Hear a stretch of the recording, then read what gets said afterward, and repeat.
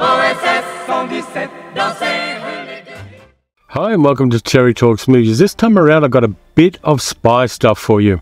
1960s secret agent movies were a fantastic world, where some copied James Bond and others preceded him. So let's get started and look at OSS 117, also known as OSS 117. Cinema is full of secret agents, from James Bond to George Smiley, Matt Helm to Derek Flint, Lorraine Broughton to Ethan Hunt.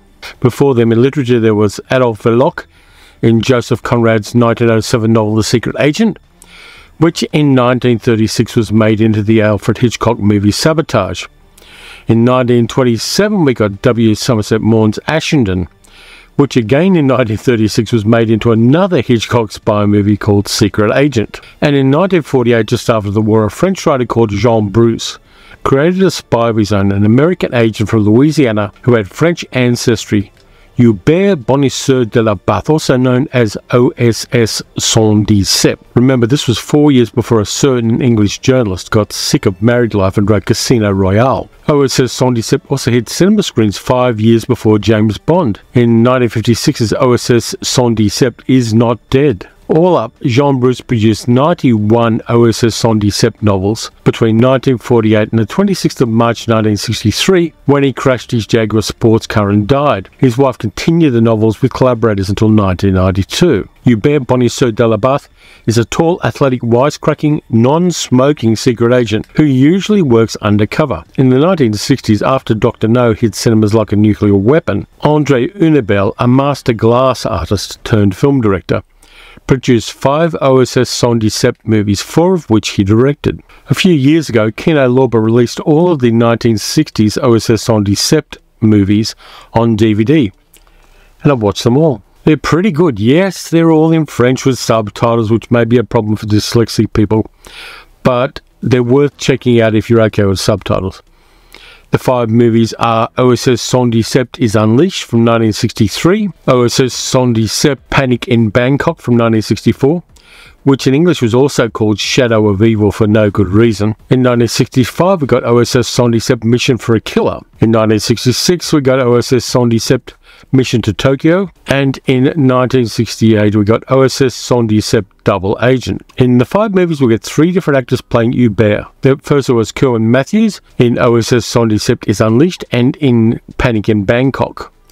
Matthews is solid playing the role. His Hubert is charming, funny, and he moves well in the fight scenes, a skill Kerwin Matthews may have picked up in his gigs as Sinbad and Gulliver fighting against Ray Harryhausen monsters. In OSS 117 is Unleashed, the only black and white film among the five in the box set, really benefits from location shooting in Corsica, particularly in and around a coastal town called Bonifacio. Hubert is sent to find a missing agent who is reconnoitering some mysterious activity around an underground grotto on the coast. Of course, there's an enemy weapon there designed to fritz atomic submarines. This one has solid action, adept underwater cinematography, and fight choreography that for me beats Ricou Browning's work on Thunderball two years later by every measure except scale.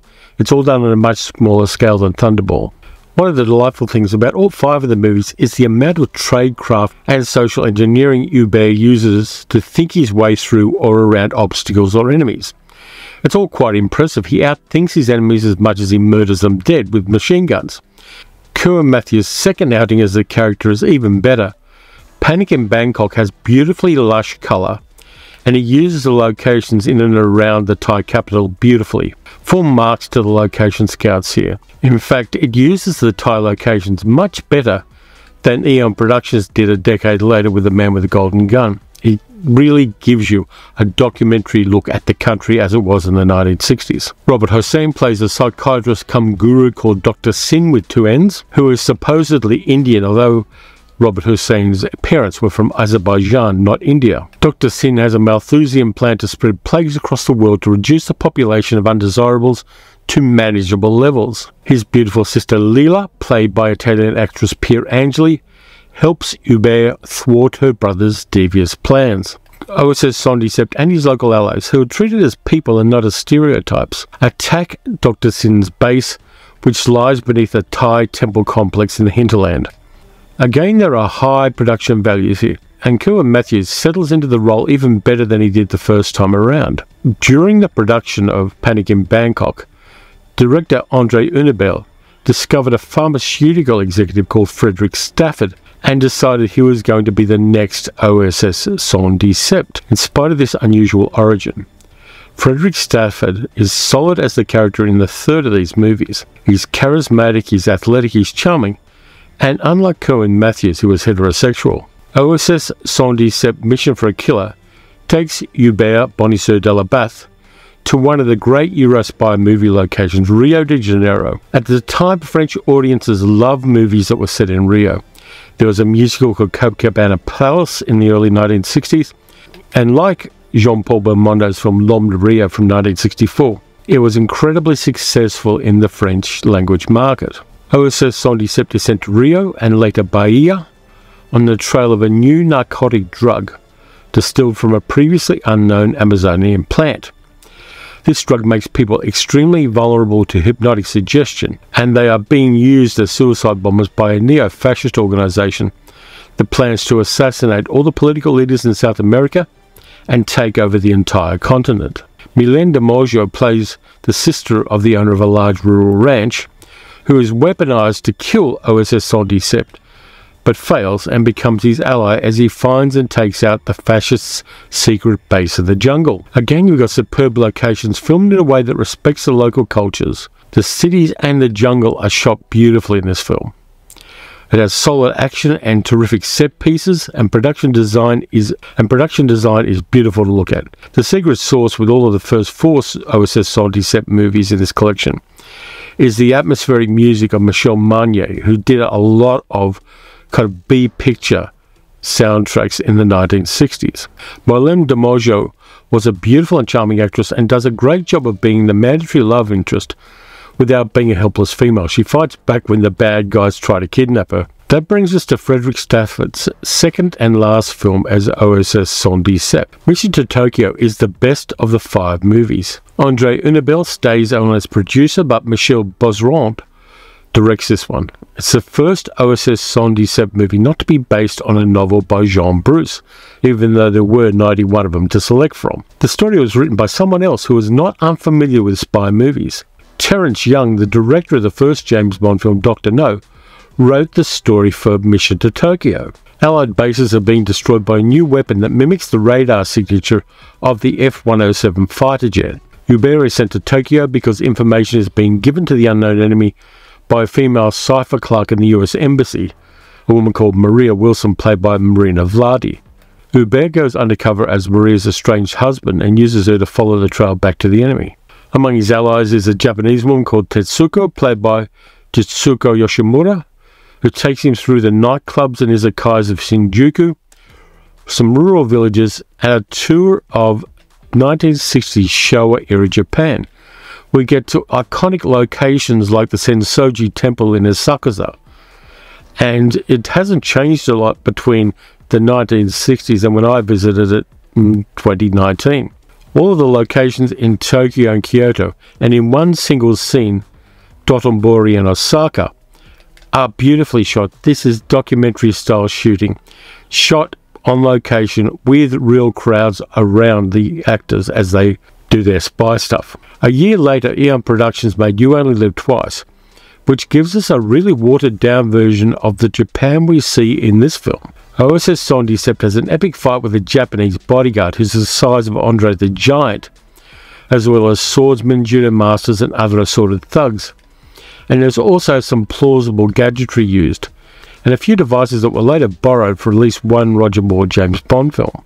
Again, Frederick Stafford delivers the goods, and this one, while it doesn't have the Playboy magazine style of contemporaneous James Bond films, and it compares favourably with the Bond films at the tail end of Sean Connery's portrayal of the character. Frederick Stafford went off to star in one of Alfred Hitchcock's last films, Topaz, and so Hispanic American actor John Gavin came into play OSS 117 in the last of the character's 1960s films. OSS 117 Murder for Sale, aka OSS 117 Double Agent, is unfortunately the least of the five. It has some really underused locations in Rome and in Tunisia, and it over relies on sets for most of the action scenes. including a rooftop battle of surpassing clumsiness. John Gavin, who later became Ronald Reagan's American ambassador to Mexico, was a pretty bland actor. He was good looking, he moved well, but he was resolutely generic. He had no plausibility in the role, and in the moments when he's supposed to look wryly amusing, he comes across, at least to me, as annoyingly smug. However, there is a solid supporting cast, including Margaret Lee, Luciana Paluzzi, several years after she appeared in Thunderball, and Rosalba Neri. In this case, for the bad guy, we have Kurt Jurgens, playing the nameless leader of a group of mercenary assassins who has an interest in medical ways of ensuring that his killers do the job. His character is coded as being gay for no reason except to make him an evil pervert. And it's clear that he and his bearded henchman have, to quote Billy Paul, a thing going on. This is Kurt Jurgens a decade before he played Stromberg in The Spy Who Loved Me. And to be really honest, I like him in this role better than I did in the James Bond film. Stromberg was one of the most underwritten boss villains in 007 history. This film may have been hampered by the fact it had three directors, Renzo Cerrato, Jean-Pierre Desagnat, and Andre Hunebelle, and it's definitely my least favourite. After the journey I went on with the first four movies, I know saying it's a journey is a cliche. OSS 77 Double Agent feels like a shitty dessert after a surprisingly good four-course meal. There were two more OSS 77 movies made in the 1970s and they weren't particularly successful or particularly good. In 2006, Michel Hazanavicius reinvented OSS 77 as a comedic French fool with Jean Dujardin as Hubert OSS 117.